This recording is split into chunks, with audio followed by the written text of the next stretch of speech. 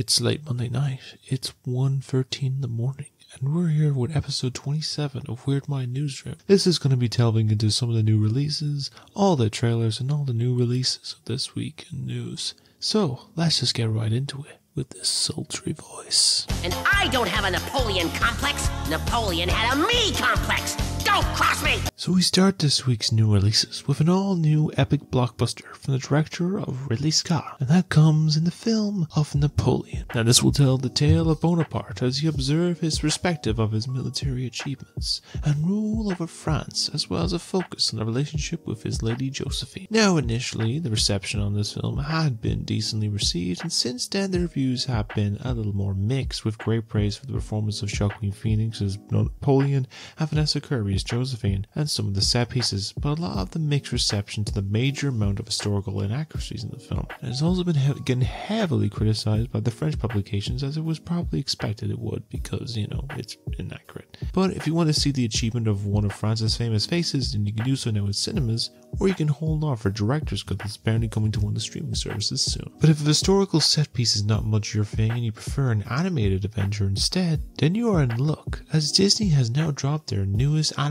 film, of Wish. Now, this will follow the new princess of Asha, who wake, makes a wish so powerful that it'll answer by a cosmic force of a little star named Star. Soon they team up to save the kingdom from King Magnifico and prove that the will of one courageous human connects with the power of the stars. Wondrous things can happen. Sounds like my final project. I should probably upload that soon. Now, the reception of this film has been a bit more mixed to low received, as people see it as a disappointing film to coincide with the 100th anniversary of Disney, and a little bit too generic and disappointing music. Though you may have given performances and animation its praise, and if you want to check it out, then you can do so now in cinemas. I have one question. If someone came to you and offered a way to fix your money debts with a strange symbol card, would you take it? Well, then this next show will be all for you, as we have now the release of the all-new reality show based on Netflix hit with Squid Game.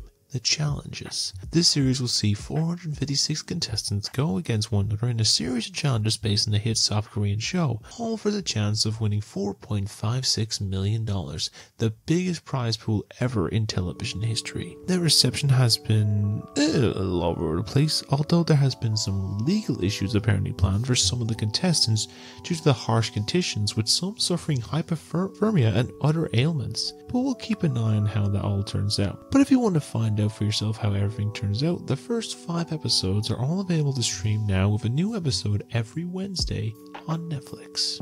And to wrap up the new releases of this week, have you ever wanted to fight a cartoon based Godzilla parody, a boy genius with a ginormous head, a talking starfish, and a sponge?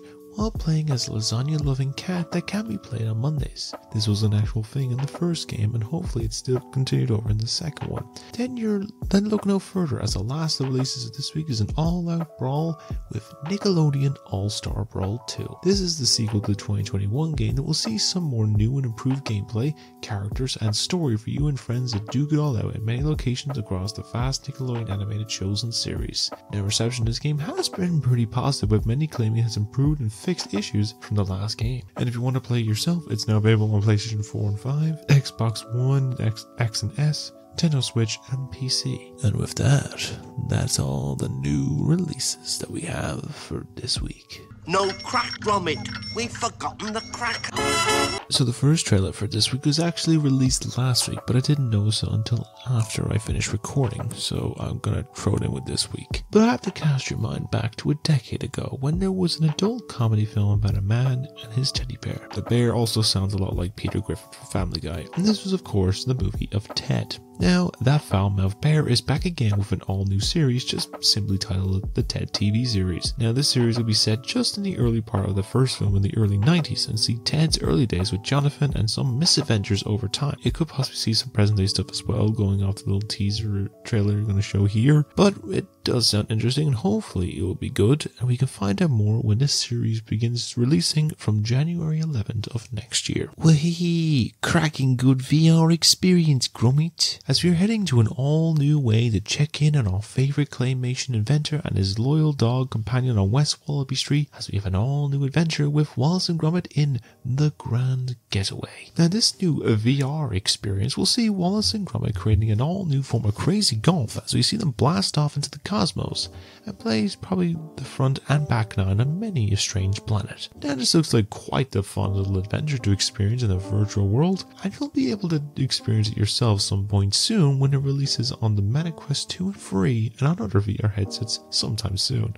Uh, I'm projecting probably next year. And to wrap up a very quiet week for trailers, this isn't any footage, but rather in the form of an announcement trailer. As it seems, we have got an all new trailer to announce an all new adaptation of the classic 1980 series of Karate Kid. Now, from this announcement trailer, it doesn't show anything, but does seem to be a case that will maybe connect to both the original films and maybe the Cobra Kai television series and the 2010 remake with Jaden Smith, as both Ralph Macchio and Jackie Chan will make an appearance in this film. Besides that, they seem to be looking for that person to become the next face of the Karate Kid and are holding open auditions to look for that person. And if you feel you have what it takes to fit the bill, I'm gonna put the link in the description of what they're looking for down below. And yeah, besides that, not much else is known, but we know that this film is projected for some point start production in early next year and releasing in December of next year. And besides all that, that's all the trailers that we have for this week.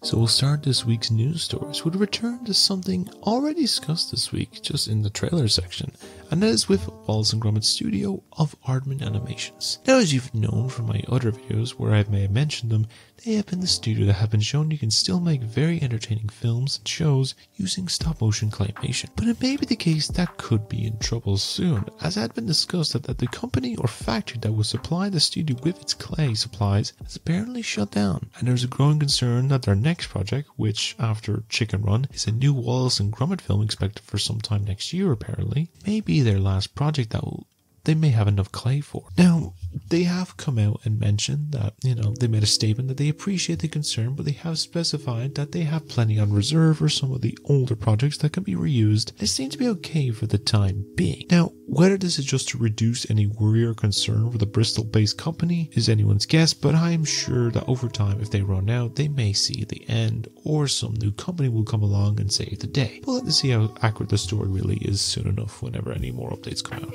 What do you think of all this news, and do you believe that they'll be fine with the amount of clay with their benefactor supplier out of business? Let me know what you think of all down below in the comments. And now for some casting news that's been floating around the interwebs for the last few days, and this comes in the form of casting for the upcoming release of Superman Legacy for DC. Now, this film has gotten quite the heavy cast already, and I know there's a few other ones that came out this week, which I might throw in if this becomes true or not. That is being led by the director, director writing and production version of James Gunn. And one of them that has been discussed from this week is that it would eventually lead to the casting reveal of one of Superman's most famous villains, as of course Lex Luthor, and this casting may be coming in the form of Nicholas Hoult. Now, Hoult is not new to the superhero scene, as he's already played a character for the Fox's X-Men series as the young Beast in Days of Future Past, but he's also been trying to step in for the role of another big name, basically going for the main lead role. And initially, he was always the one of the final two choices for both the Matt Reeves Batman universe before losing out to Robert Pattinson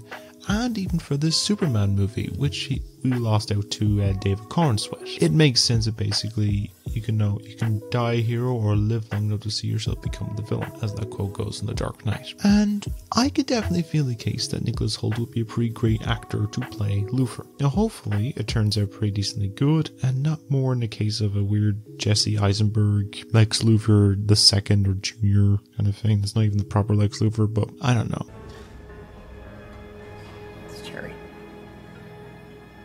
Which is it at the moment it's a speculation. Has been officially confirmed. There has been talks about it but i could definitely see it happen. But you know to see when it all confirmed. But what are your opinions on this casting? Do you think he'll do a great performance as lex luthor or do you see someone else playing the role instead? Also what is your favorite performance of Hoult's? i really liked him this year in um, renfield. If you've seen it it's a very good movie. Let me know what you think of it all down below in the comments. And now we're heading to a galaxy far, far away as we talk on the major franchise of Star Wars. Now, as you know, over the last few years, we have seen a heavy amount of content for this, this franchise that had one new piece every year since 2015's Force Awakens, around five new films, and with about, I'd say, 10 shows, with many more on both sides coming along over the next few years. Now, it has not been all perfect, and lots have had some major profits. It had their issues, like many divided by the last two in the Skywalker saga of Last Jedi and Rise of Skywalker, and some of the series feeling underwhelming to many fans, and has been a divide among many. Besides the point, a lot of these projects would have been some established reigns, including with Kathleen Kennedy overlooking it all, and two of the big names making content for this universe is of course Jon Favreau and Dave Filoni, the latter of which we're talking about today because it was announced earlier this week that Filoni will now be the lead chief creative officer for Lucasfilm and the Star Wars brand, given he has helped create most of the hit content in recent memory for the series with Mandalorian with Favreau, Ahsoka, and Clone Wars, as well as The Bad Batch. So he's had a good eye for the universe. Now, whether he'll make it all in the upcoming titles exciting, like The Acolyte and Skeleton Crew, and an upcoming film with Rey again and all the other ones, and make them anticipated and great, as it seems the Galaxy's need to find some good balance again. Hopefully, he'll be the one to do so. We'll see how it all turns out. What are your thoughts on this new role for Filoni, and do you think he'll help make it more anticipated, or is Star Wars in the odd spot of being a possible lost cause? Let me know what you think of it all down below in the comments let's have a discussion about it all. Now, these last two stories kind of connect to each other, but we should head over to the land of horror first and to the slasher side of things, as we talk on the news relating to the franchise of that black cloak wearing, mask wearing killer of Ghostface in the Scream franchise. Now, the franchise has enjoyed quite a success over la- of the near three decades that has been present on screen, with the two new revival films of 5 and 6 both being well received and getting some decent box office. A title that would have been the most probable horror film this year had not an animatronic bear and his gang shown up, and it had been discussed after the release of Scream 6 earlier this year that there was a planned 7 film of the franchise. But it looks like the some of those plans may be in trouble as it seems there has been some casting issues and mainly comes down to the two new leads from the revival of Melissa Barrera and Jenna Ortega. Now with Barrera, it was not more unavailable but rather the case that early this week she was fired from the upcoming seventh film in the franchise. The reason for this was due to some social media posts that she made about the current conflict when the Israel-Gaza war and the whole thing with Hamas and due to some views on it has been let go from the film. Now myself, I haven't seen any of the posts myself, so I don't really get the scope of what she said, but I can understand the case that it's a bit of a touchy subject to talk about now in this day and in this current day, so I guess we can learn more about it later, but we don't know. But as for Ortega, there seems to be two reasons for her not returning. Is the first one would be related to her not being available in solidarity with her co-star. The other reason is relating to the next story, which is about her scheduling conflict with the filming of the second season for Netflix's Wednesday series to make a hassle to do both at the same time. Now, as put the film in a bit of a situation. It has been reported that they are now trying to get Neve Campbell back to return to the franchise to end it as possibly, as she wasn't in the sixth film due to some unfair payment methods. This has caused quite a divide with some even starting hashtag of boycotting Scream 7. But it's hard to see how this will turn out. I myself am kind of a hit or miss with these Scream franchise, but you know, there's people enjoy it, so I'm not gonna diss them or anything like that. Like you enjoy whatever you like. But I'm sure we'll probably get more proper analysis of what all is going down when more updates come along, if there is any. But what are your thoughts on all of this discussion? And do you think it's a fairly justified thing to do, or do you think it's a little bit blown out of proportion? I'd like to hear what your thoughts are on all this down below in the comments. And to end the stories for the week, I am of course relating back to the previous story as I had mentioned about the acting CV of one Miss Jenna Ortega. I did mention the case that there was two stories going about a why she was not returning for Scream 7, and that's of course what I'm talking about the latter point I mentioned, which is that she's having some scheduling conflicts with her other big project piece down the line, which is of course with Wednesday, as it's been confirmed that a second season was confirmed to be making after the success of the first season, and they plan to start filming it sometime early next year. But that's not the whole story. It has been brought to attention that they are moving the setting for this new season for for better cost, aesthetic, and some new change of scenery. As not going to be filmed now in Romania, but now instead heading over to my homeland of Ireland. Yes, which makes sense for some more ancient historical setting. A lot more of a fantasy and historical pieces have been filmed here, like Vikings, Last Duel, Disenchanted, and all those other ones. So I can definitely see it making a lot more sense. Also, just a bit of a side role, if there's any extra roles going, I'll gladly be some kind of weird werewolf-looking human or something like that from my very hairiness. But I'm just throwing it out there. If anyone can get in touch, appreciate it. But I'm sure we'll hear more about this over time, and when we do, I'll update in a later video with any info on it, or for like a release date for the series, or some set photos or something like that. But we'll see how it turns out. What are your own thoughts on it all, and are you excited for season two? And would you love to know more about your pins in the first season as well? I'd like to hear what your thoughts on it are. Let me know what you think of it all down below in the comments below. And with that, that's all the news that we have for this week. Just follow the soothing sound of my! And with that, that's all we have this week for the newest episode of Weird Mind Newsroom. And I hope you enjoyed this more chilled, somber ASMR piece video. Now, it's just some updates on some upcoming projects.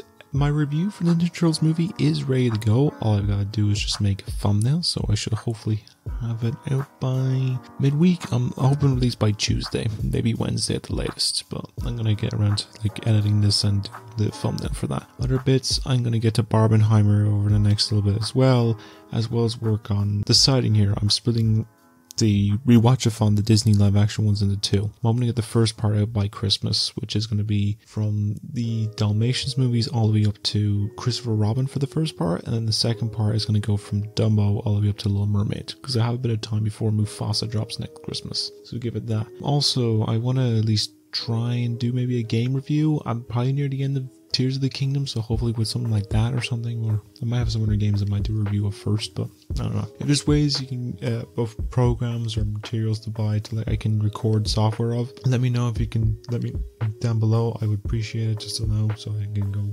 record it properly, get like a better authentic experience. Other bits, I want to at least try and make an ASMR piece or something. I have an idea in mind from special someone to help me with that. Like I have an idea I want to work on. May I keep it to myself I'll figure some bits on it. Other bits, I want to have an idea like of a reading one where I read stories in like a weird, goofy or summer aesthetic. So like a like you know a children's book is a tragedy, or like a, a steamy romance novel is like a comedy book or something. I don't know. There's all other bits and long form videos and everything. I'm working on bits. You know.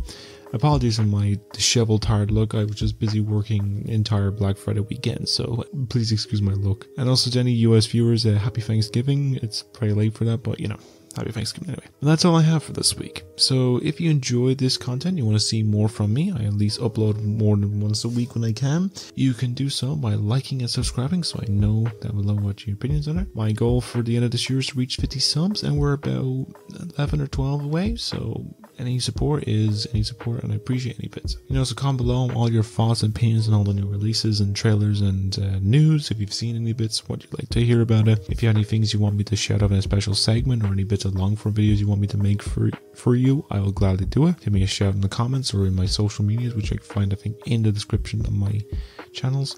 And even sharing around to people that might not have seen my stuff already. But that's all I have for now. So until then, you all stay being a very wonderful people because you all are wonderful people. And have a great day every day doing many great things. And I'm gonna go to bed now. So I'll see you all in the next video. So goodbye everybody and take care. Adieu.